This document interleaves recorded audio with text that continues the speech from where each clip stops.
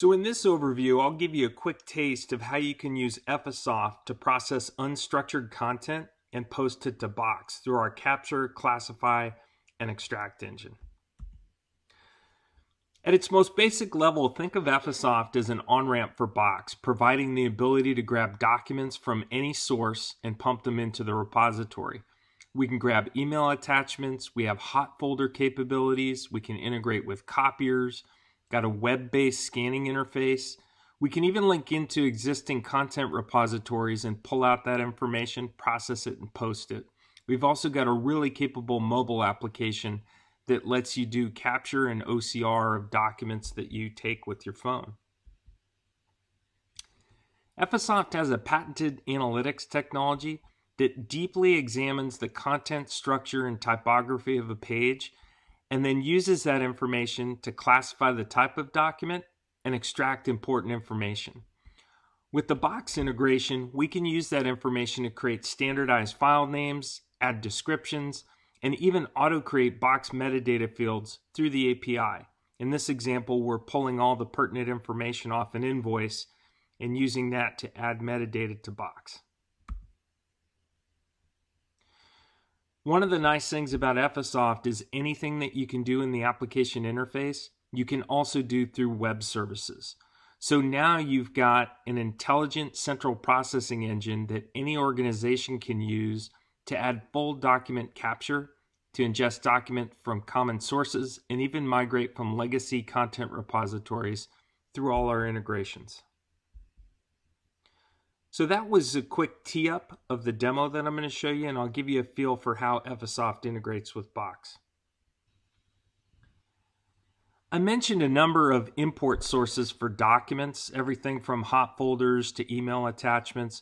We've also got a web upload interface, which for a demo is the easiest way to, to show you how things get processed. So let's go ahead and select a few files and I'm going to do some uh, some invoice processing. So I'll, I'll pick a couple invoices here.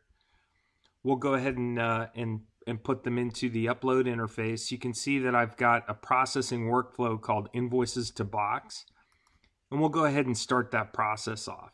Now, once again, all of this can happen in the background automatically, but for demo purposes, I want to give you a feel for how the flow works.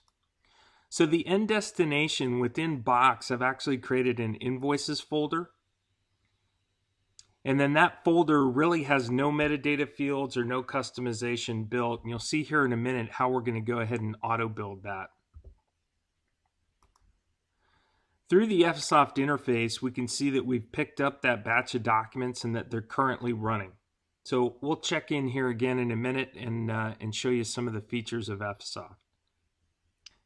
So this batch of documents will go through the processing engine, go through extraction, and in this case, I've actually uh, induced an error within the system so it pauses. If there were no issues, no problems with confidence, it would go from start to finish without end user intervention. But one of the places that Ephesoft really excels is in uh, validation and review. So if you do have a problem or there is a question on the document, it's always best to catch it before it goes into the repository. And we have validation capabilities. So you can see here, I'll give you an overview as we process these invoices. We actually extracted metadata. So we pulled the invoice number, the date, the total, the amount. We even linked into a database and pulled back vendor information. Ephesoft's got a confidence question on this particular field. When it did the OCR, the conversion of this image into text, it had a question. It wasn't quite sure that this invoice number was correct, but you can see it did map it correctly. So let's go ahead and validate that. Click OK, and it'll move on in the process. So the next step, it's going to go through and migrate those documents into the Box repository, and we'll see here in a minute the result.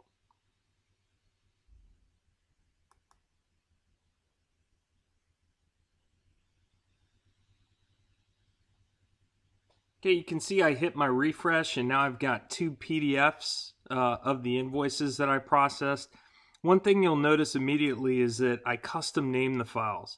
So this is great. We can standardize the file naming scheme. So any user that uses Ephesoft will create the same repeatable file naming standard. So in this case, it's vendor dash invoice number.